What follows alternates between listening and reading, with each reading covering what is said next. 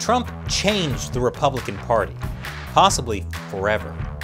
What's next for Trump and the GOP?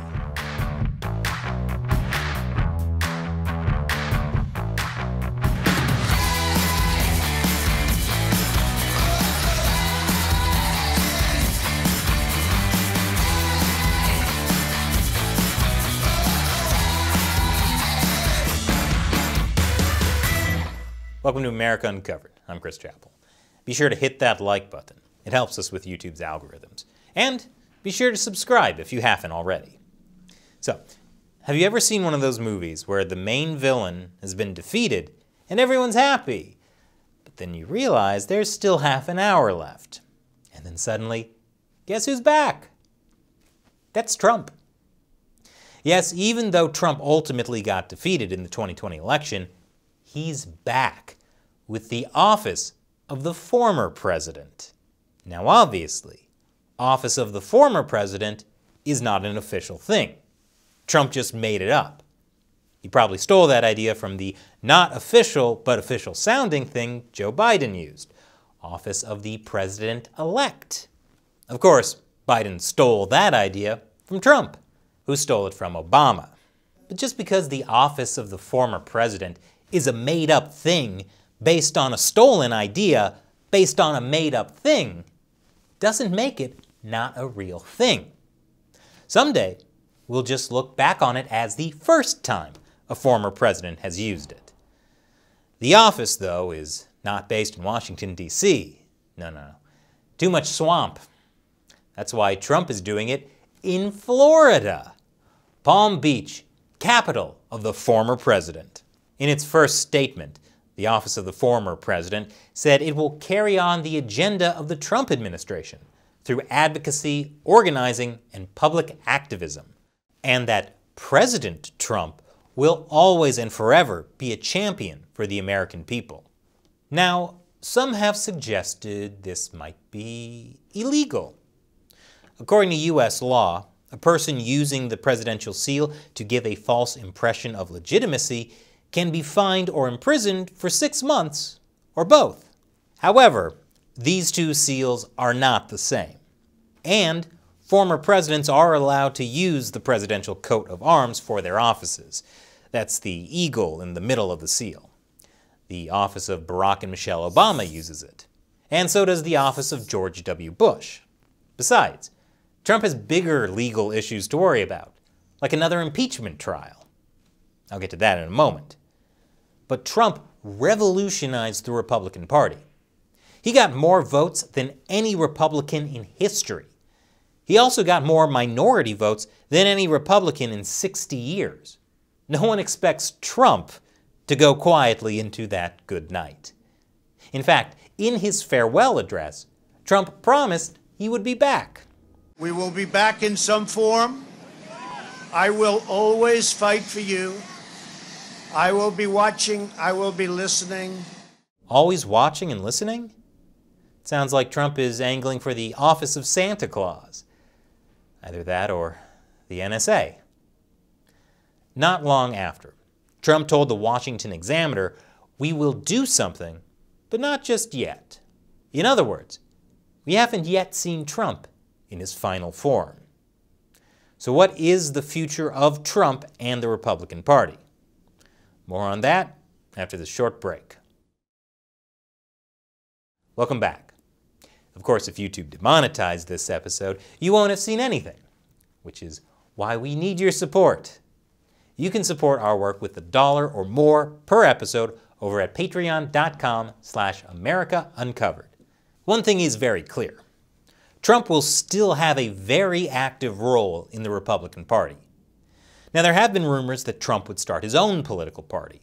And recently, a new political party called the MAGA Patriot Party did file with the Federal Election Commission.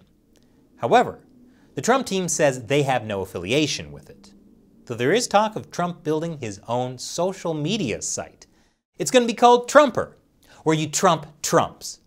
Each Trump is limited to a single run on sentence with at least one word in all caps.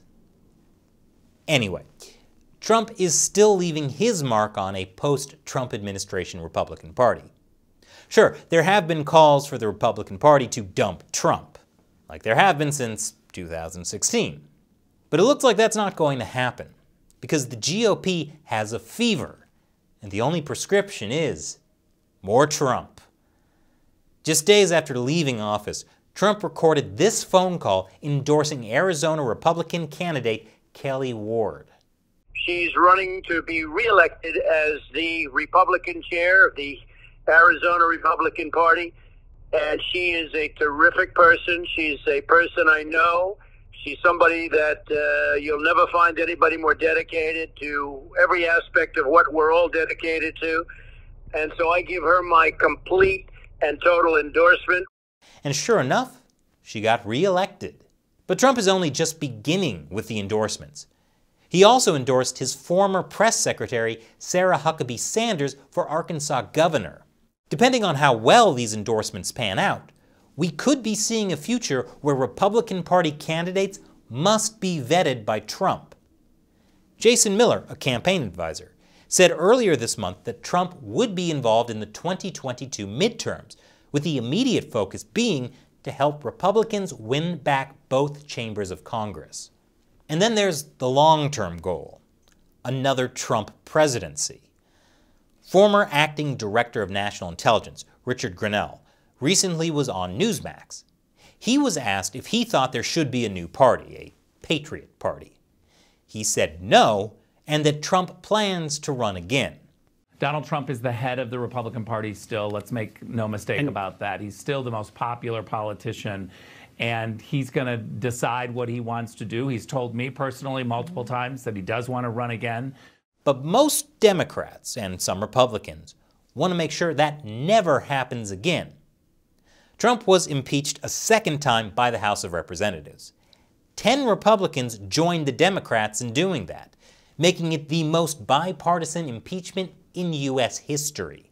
One of those Republicans was Liz Cheney. She's the third ranking Republican member of the House, but you probably know her as the daughter of former Vice President Dick Cheney and she's exactly the kind of establishment Republican many Trump supporters don't like. The Senate impeachment trial technically began this week with the swearing in of the senators. However, the trial won't really start until February 9th. But in a sense, it might be over before it's even begun. On Tuesday, Senator Rand Paul forced a procedural vote in the Senate over whether holding an impeachment trial after Trump was no longer in office was unconstitutional. The motion was defeated 55 to 45. Five Republican senators joined the Democrats to vote against dismissing the trial. But Senator Paul is saying that this vote proves that Trump's impeachment is dead on arrival. That's because a conviction requires 67 senators. So if every Democrat voted to convict Trump, 17 Republicans would have to as well. But if 45 Republican senators already think the trial is unconstitutional, they would be unlikely to convict Trump. However, some Republicans said the vote did not necessarily indicate their views on the merits of the House's case against Trump. So it's possible they could still vote to convict Trump, but it's unlikely. The issue of whether the Senate can convict a president after he's no longer president is just one of the complicated questions about this impeachment trial.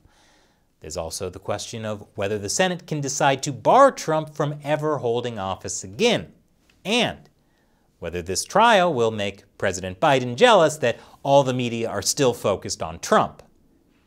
Don't worry, we'll cover the impeachment trial in a future episode of America Uncovered, where we focus on Trump.